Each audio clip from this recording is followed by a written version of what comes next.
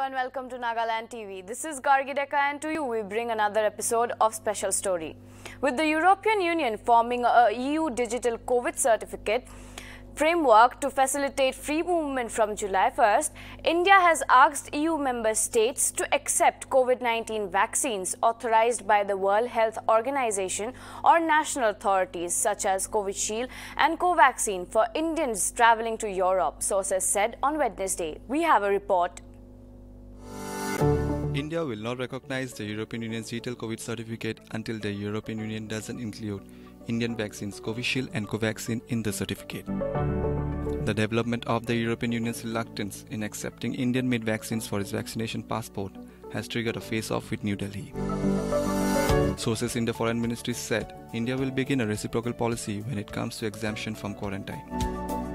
This would mean that unless the European Union accepts Covishield and Covaxin certificates, their certificates will not be accepted in the country and people from European Union will face a mandatory quarantine upon arrival in India.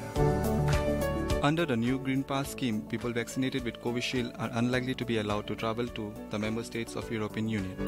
The European Union countries accept only the vaccines approved by the European Medicines Agency, which are Pfizer, Moderna, AstraZeneca, and Janssen.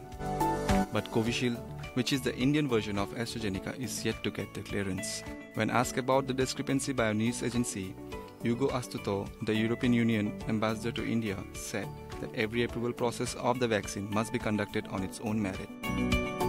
Earlier on Tuesday, Serum Institute of India said that they have applied for European Union's nod for Covishield through its European partner AstraZeneca. But European Medicines Agency said they have not received a request for the approval of Covishield. It may be mention worthy here that on Tuesday, External Affairs Minister for India S. Jaishankar, in a tweet, informed that he took up the issue of inclusion of Covishield in the vaccination passport with a top European Union official. News Desk, Nagaland TV. Meanwhile, at least seven European countries, including Austria, Germany, Slovenia, Greece, Iceland, Ireland, Spain, and Switzerland, have approved the Covishield the, the COVID-19 vaccine for Green Pass separately. Estonia has also confirmed that it will recognize all vaccines authorized by the government of India for the travel of Indians to that country.